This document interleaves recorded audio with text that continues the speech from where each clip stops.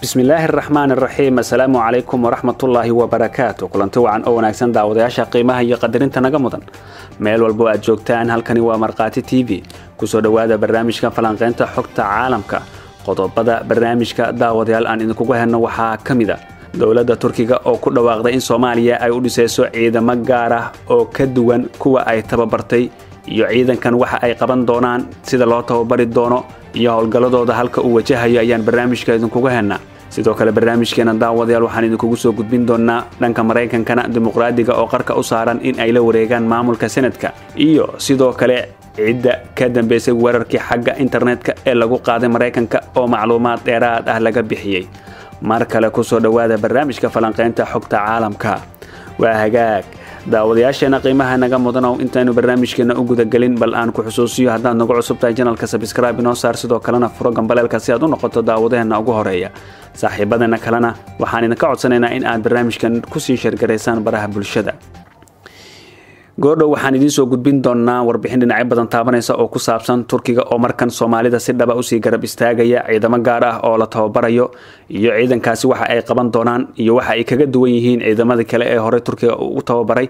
Hase ahaatee bal aynu ku bilowno markan hay'adda sirdoonka qaranka ee maraykanka ayaa maanta shaacisay in ay u badan tahay in ruushka uu ka dambeeyey weeraro dhanka internetka ah oo lagu jabsaday kombyuutarada wasaarado ka tirsan dowladda federaalk maraykanka. Weeraradaasi ayaa laga warhelay bishii la soo dhaafay.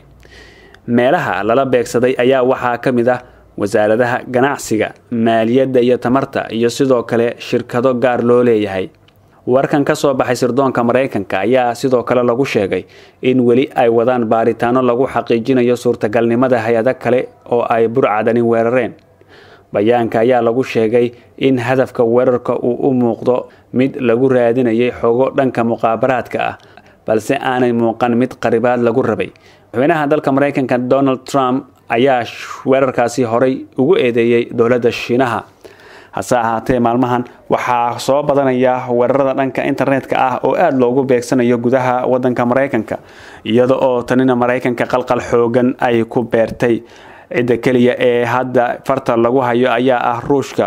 Walow trump uu isku dayayo in indhaha uu ka jeediyo ruushka islamarkaana uu uga faa-iidaysto khilaafka xoogan ee kala dhexeeya shiinaha weli arrimaha maraykanka ayaynu ku guda jirnaaye dhanka kalena xisbiga dimuqraadiga maraykanka ayaa ku guuleystay mid ka mid ah labada kursi ee aqalka senadka ee ka imaanaya gobolka georgia. Halka tartanka kursiga labaadna ay labada musharax si aada isugu dhow yihiin. Ravil wanog ayaa telefishinada maraykan ku sheegeen in uu ka guuleystay gabadha lagu magacaabo kelly oo ka tirsan jamhuuriga. Hase yeeshee iyadu ma aanay qiran in laga badiyey waxaa sidoo kale aada isugu dhow david bardo oo jamhuuri ah iyo sidoo kale john osof oo dimuqraadi ah waxaana lix iyo toban kun oo cod ku horreeya osof haddii osof uu ku guulaysto tartanka waxay ka dhigan tahay in dimuqraadiga ay heli doonaan konton ka mid ah boqolka kursi ee sanadka marka lagu daro laba kursi oo ah kuwa madaxa bannaan balse la safan dimuqraadiga halka jamhuuriga ay heli doonaan konton kale si kastaba maadaama madaxweyne ku-xigeenka maraykanka ay noqonayso kamaala oo dimuqraadi ah waxay noqon codka kala saaraya isudhiganka taas oo macnaheedu yahay in dimuqraadiga ay la wareegi doonaan maamulka aqalka sanadka. Weli barnaamijka falanqeynta xogta caalamka ayaa daawadayaal la socotaan markhaati t v ayuu idinkaga imaanayaa markana bal aynu eegno.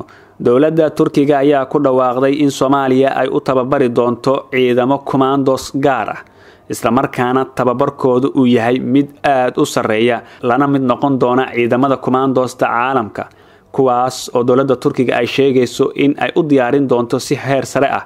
Islamarkaana ay ka mid tahay heshiis ay la gashay dowladda soomaaliya waxaana dhanka kale dowladda turkiga ay faahfaahin ka bixisay ciidamadan gaarka loo tababarayo tiradooda. Waxa ay kaga duwanaan doonaan ciidamada kale ee isla turkiga horey u tababaray iyo arrimo kale oo soomaalida guul u ah. Haddaba warbixin dhinacyo badan taabanaysa oo arrintan ku saabsan waxaa eegaya saaxiibkeen faarax cabdilqaadir. Toban guuradii ka soo wareegatay booqashadii urdugaan iyo taageeradii turkiga ee soomaaliya. Mar kale ankara waxay samaynaysaa taariikh cusub. Tani ma aha taakula dhaqaale. Gargaar caafimaad tigidh iyo deeq waxbarasho. Mana aha qabanqaabo shir qaybin mucaamo iyo gelid heshiis midna. Tagtadii hore ee togneyd ee turkigu ku garab istaagay soomaaliya waxaa toban sano kadib timid tabantaabo cusub. Sida aan ka soo xigannay wakaaladda wararka ee turkiga waxa ay ankara soomaaliya u dhisaysaa ciidan casriya oo diyaarsan. Wakhti kastana samayn kara howlgallo deg deg ah waana ciidanka lagu magacaabo kumaandooska khaaska ah ee soomaaliya. Wasaaradda difaaca ee qaranka turkigu warqad ay soo saartay waxa ay ku sheegtay in tababarka gaarka ee la siinayo askar soomaali ah oo tiri ahaan gaaraya boqol iyo konton askari kuwaasoo hadda durbo ku sugan gudaha dalka turkiga. Maadaama khibrasiintoodu ay qayb ka tahay heshiis dhex maray labada dal sida ku xusan warbixinta ka soo baxday wasaaradda difaaca ee dalka turkiga. Ciidamadu waxa ay qaadanayaan tababaro gaara oo la siinayo ciidamada kumaandooska loo yaqaano. Waa ciidan si gaara u tababaran fuliyo howlgallo deg deg ah xilli kasta maalin iyo habeenna hirgeli kara oo samayn kara duulaan kasta. Waxaana tababarka uu bilowday koob iyo labaatankii bishiina macsalaamaysay ee disembar laba kun iyo labaatan.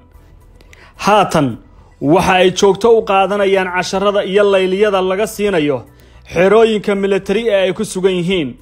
Waxaan ka horumarinaynaa tababarka qaybta kumaandooska askartan oo tiro ahaan ah boqol iyo konton ruux oo ku sugan gudaha turkiga. Waxaa laga soo dhex culay ciidamada xoogga dalka soomaaliyeed s n a waxaana tababarku u bilowday koob iyo labaatankii disembar. Sidaasi waxaa lagu qoray war ka soo baxay wasaaradda difaaca qaranka ee turkiga. Tababarka askarta ciidamada qalabka sida ee soomaaliya ayaa ka socda xarunta tababarada la dagaalanka argagixisada ee ku taalla gobolka isbaarta ee koonfur galbeed dalka turkiga oo la dejiyey sida warbixinta lagu caddeeyey danjiraha turkiga ee soomaaliya mehmed yelme ayaa bishii agoosto laba kun labaatan sheegay in dowladdiisu ay taabagelin qorshaynaysana ka qaybgalka ciidamada qaranka oo tir ahaan lagu qadaray lix iyo toban kun oo askari in ka badan waxaana uu dusha saartay turkigu in saddex meelood meel ay tababaro siinayaan ciidamada difaaca ee soomaaliya. Xiriirka turkiga iyo soomaaliya waxa uu ku bilowday ka qaybgalka gacansiinta dadkii ku dhibaataysnaa abaartii ku dhufatay koonfurta iyo bartamaha soomaaliya laba kun koob iyo toban. Xilligaasi waxaa tegay agoosto soomaaliya madaxweynaha turkiga rajab dayib erdogan oo ahaa ra'iisul wasaare si uu u arko dunidana u tuso marxaladda xasaasiga ee soomaaliya ku sugnayd. Wuxuu xilligaasi ka dambeeyey isbeddello waaweyn oo xooggan ayaa dhex maray soomaalida iyo turkiga. Shirkadaha turkigu waxa ay hadda gacanta ku hayaan idhaha dhaqaale ee dalka gaar ahaana garoonka diyaaradaha ee muqdisho. Dekedda caasimadda waxa uu dhisay isbitaallo waddooyin waxaana dib u bilaabay duulimaadyada shirkadda turkish airlines.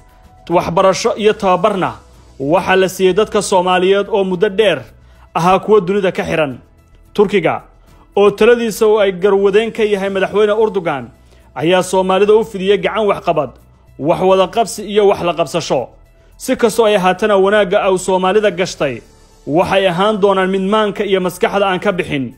Waxay noqon doontaa mid jiilka dambe hibto garabkii ay banneeyeen carabtu markii ay soomaalidu burburtay waxaa dib u buuxisay laba kun koob iyo toban dowladda turkiga waxayna noqotay hiil walaal oo aan hagar lahayn sida ka muuqata howlgalladeeda ay ka fulisay gudaha soomaaliya waa hagaag. Faarax aad ayuu u mahadsan yahay. Daawadayaal guud ahaan inta ayaynu ku soo gabagabeynaynaa barnaamijkeenna falanqeynta xogta caalamka. Inta aynu barnaamijkan mid la mid a ku kulmi doonno sidaas iyo nabadgelyo. Assalaamu calaykum waraxmatullaahi wabarakaatu